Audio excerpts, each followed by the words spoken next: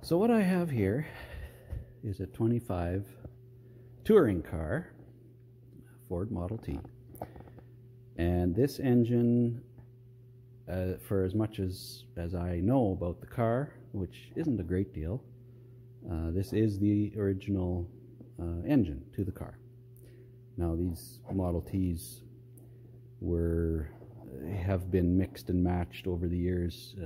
They were just kept in service as long as they possibly could be in most cases. And so this one is very worn in terms of, uh, you know, all the axles, uh, rear axle is broken now, but also, you know, the, the wheels are literally coming off. We've got lots of uh, slop in all the bearings and, and things. Uh, this engine is my focus today. And uh, when I bought the car, there was they had one one piston out. I suspect they had pulled it to do exactly what I'm doing today, and that's just to see how the bearing uh, how the bearing wear was. And it it looks good on that particular connecting rod. And uh, in the meantime, because this has sat uh, quite a while. That cylinder, of course, has kind of rusted over, but that's no big deal. That'll that'll hone up nice. The others, like there's no ridge of anywhere. Mind you, I I don't know if these actually have enough compression to to create a ridge. So the engine is free. Uh, it all turns. The valves open and close. Uh, they had spent obviously quite a lot of time soaking everything down and getting everything moving. I, my suspicion is that it probably was stuck. It had sat for a long time. But basically today what I want to do is assess the bottom end of this engine uh, and determine uh, bear, bearing condition on, on the mains and the rest of the rod bearings. So uh, the oil pan on a Model T is not is not uh, conventional in, the, in a modern sense. The oil pan, here, I have another one here. It forms the, the bottom structure of the entire engine and transmission uh, assembly. It's all kind of one assembly, shared oil. And so, you know, this right back here to the what they call the fourth main is is this the one oil pan. So you can't drop the pan because the pan actually forms the engine mount uh, on both ends, right up at the front at the crank and down the side. But what they did do was create this inspection cover. Uh, I'll call it a maintenance cover even. And so by taking that off, I should be able to pull the bearing caps and uh, inspect the bearings. Uh, these are a poured bearing, a Babbitt bearing. They don't use shells. And they actually, when they're redone, they're installed with shims uh, between the cap and the and the block, or the in the rod cap. Uh, shims that are meant, you know, once there's once there's uh, looseness in the bearing, you can take a shim out and uh, what they call take up the bearing uh, you put some compound in and, and uh, basically reshape it to be tight again.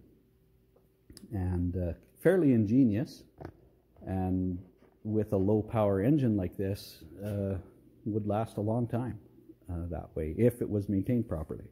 I assume, like any other bushing or bearing setup, if it if it was allowed to run with with play and start hammering, well, then it would it would beat out really quick which probably that happened a lot too back in the day. Um, but anyway, uh, that's the goal today. I want to pull the bottom end, just open it up. Let's have a look at the bearings. All right, I got number one off, and I'll just show you here what I found. Not quite what I was hoping to find. As you can see here, I've got this bottom pan off, so we've exposed crankshaft bearings, camshaft, you can see, so I pulled the cap off number one. This is the cap. Oops, I'll throw it on the floor. And uh, there's certainly Babbitt in it, but no shims. It looks like it's been sanded on, which that was, that's your next step once the shims are gone, is you just sand the cap. And, oops, that's backwards. To take up the slack, you sand the cap off. And, uh, oh no, that's backwards. Oh, whatever, doesn't matter. So anyway, uh, yeah, there's Babbitt, but evidence that it has been maintained as much as it can to this point. So that's too bad, but not, uh, looking at the condition of the rest of the car, I was not surprising. We'll carry on, see what we find. Aha, well, uh, I pulled two more. I've got the number four connecting rod, which gave me a ray of hope.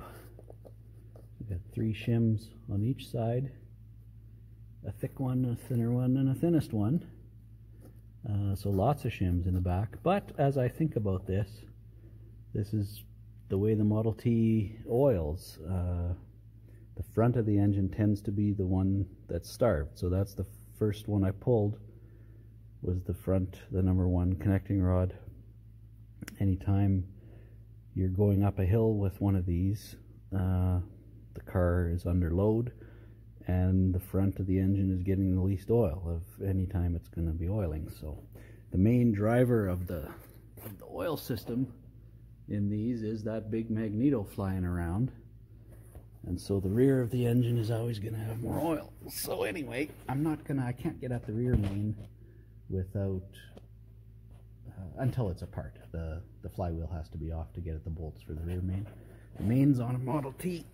Uh, have these long bolts and they clamp, oh, where's my light?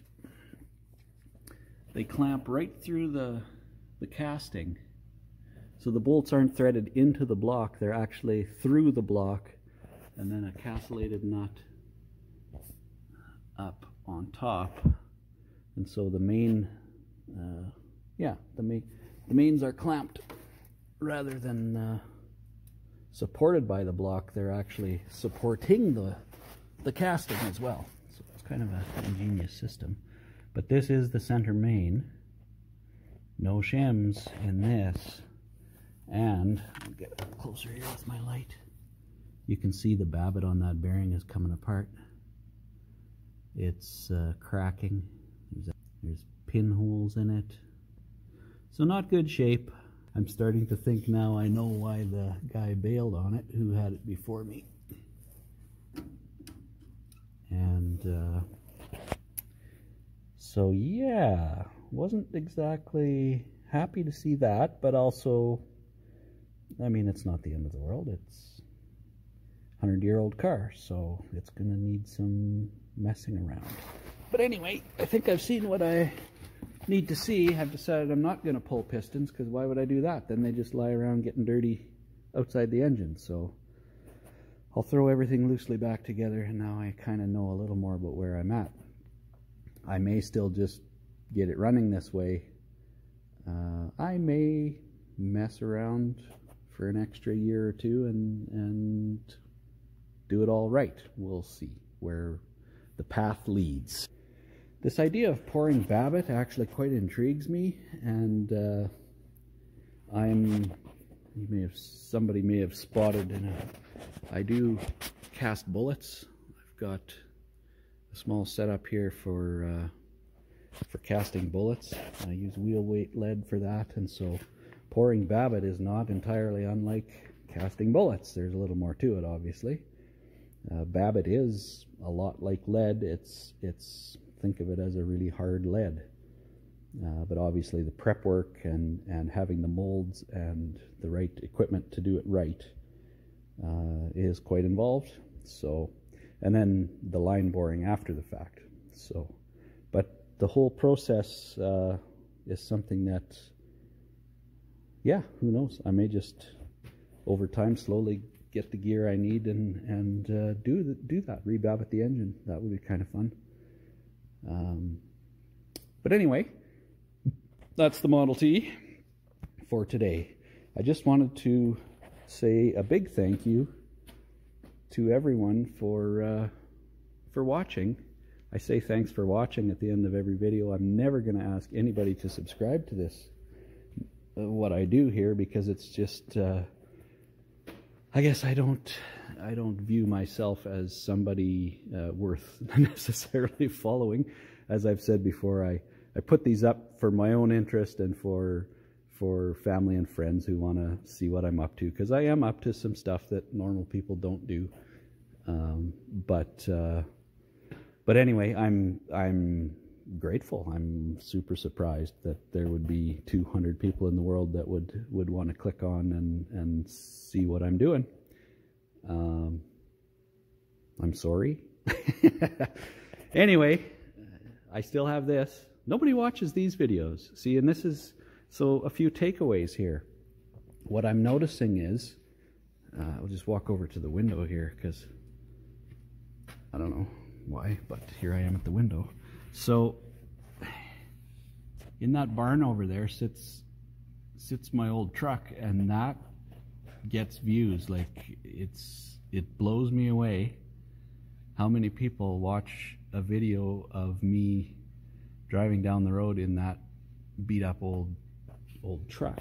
And so I mean that's where the 200 people come from is people who have clicked on those truck videos which they aren't good videos and it's not a real nice truck. And so it's it just interests me uh, how that happens but anyway uh, I haven't abandoned ship on this. I am still I'm still messing with it.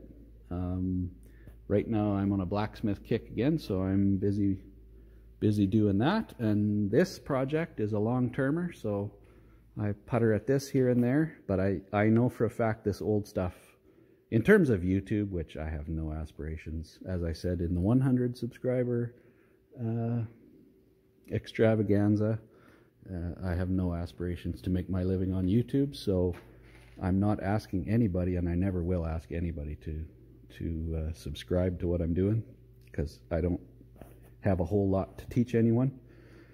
At least I don't see myself as a person who does, but uh, but I'm so grateful to everyone else who puts content on YouTube so that, you know, we can learn to do the things we want to try and do.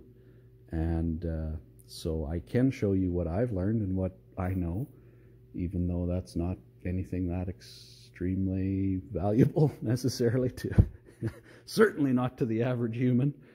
Uh, but, uh, but yeah, you're just going to see more of this if you stay subscribed, and, and if you do, thank you. It, it's I'm I'm fairly flattered, and uh, you know, enjoy the ride. It's it's probably a pretty slow, boring ride, but you know, it's the ride we're on. So hey, here it is. But thanks again. Have a great Sunday.